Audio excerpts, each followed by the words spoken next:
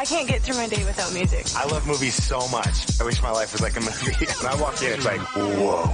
It's the Walmart home entertainment department. It's kind of a nice vacation, a little getaway. It's all here. Videos, computer software. I buy a ton of DVDs. I like music that makes me move. It's gotta hit your soul. This is definitely the place to go if you're a gamer. Walmart has the new releases.